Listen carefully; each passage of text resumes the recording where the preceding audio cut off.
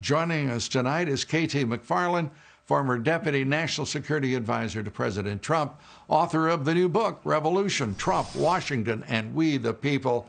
KT, great to have you with us. Uh, I, have got to start with the national security strategy put up on the website, uh, whitehouse.gov, without an author, without a department uh, named in, in any context. And I just had the president's trade czar attack me, Michael Pillsbury, because we think it is somewhat short of being a national security strategy of any kind. What is your view? Throw it in the trash. I mean, that's not doesn't reflect what President Trump's thinking. And President Trump himself is is actively engaged in the China policy. He knows it's the most important national security issue we face right now. How to deal with China, how to deal with China's ambitions. China wants to come out of this pandemic having replaced the United States as the dominant power in the world. And Lou, I, I talked to the people in the White House National Security Council on China. I talked to other people at the senior levels of government, and that's not how they're thinking. I mean, they're they're much more hawkish than this sort of wimpy little document proposes. They're they're looking at supply chains. Bring the supply chains home. create a coalition of the United States, United Kingdom, like-minded democracies and free market systems, and and potentially, potentially, even decouple from China if China doesn't want to play by the rules. Yeah, it's extraordinary because that document, such as it is, as I said, doesn't have an author, isn't related to yeah. a, a, an agency or department, and thirdly, doesn't once quote the President of the United States, who is leading policy in every aspect of foreign policy uh, around the world. There is no exception, as you point out. Uh, and it's stunning because it looks like the deep state is at work now, having figured out some way to append this nonsense uh, to the uh, White House uh, website and also get a trade czar uh, to defend the nonsense.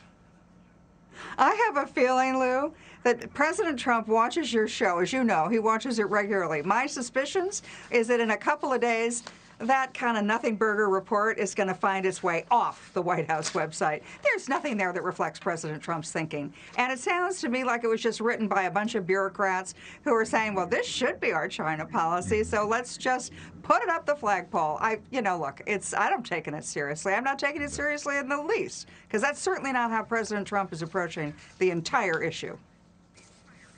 Right. Well, let's turn to uh, serious issues like right now. Uh, China, uh, the president has done so much, has achieved so much. He achieved balanced uh, trade. Uh, he brought tariffs forward. Yeah. Uh, this is a man who has uh, assumed a modest foreign policy. I said modest, I didn't say passive. Obama was passive in every possible respect. Yeah. Patience, uh, uh, strategic patience. This president yeah, that was his policy. Uh, has never, has ne- you know, I mean, the fact of the matter is, uh, in his strategy was working beautifully, and uh, you know, suddenly we have this virus, and it, there is this this uh, this attempt, it seems, on on the part of Wall Street, the Chamber of Commerce, for for example to basically declare, you know, we're done here.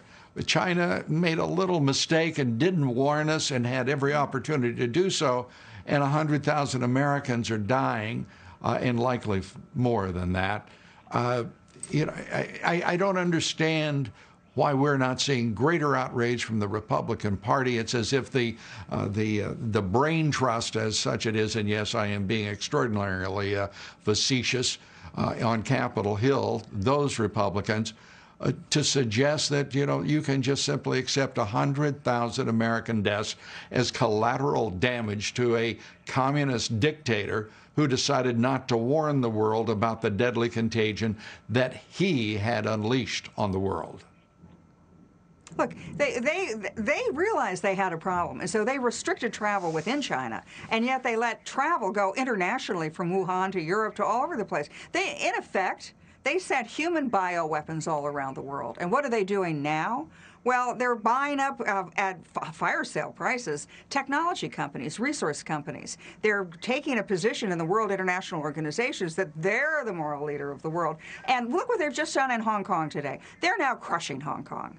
They they had a deal with Hong Kong. Wasn't that many years ago where they said we you can have your own system, we'll have ours, we'll be one China. They're reneging on the deal. Five years ago, the Chinese went and said the South China Sea, but now look, they've militarized it. And the United States response uh, right now uh, is has been neutralized. Uh, I think that's fair to say. And we await the next round. Your thoughts as we wrap up?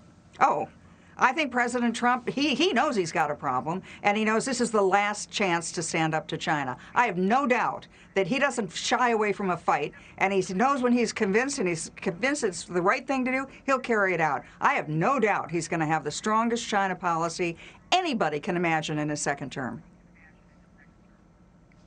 KT McFarland.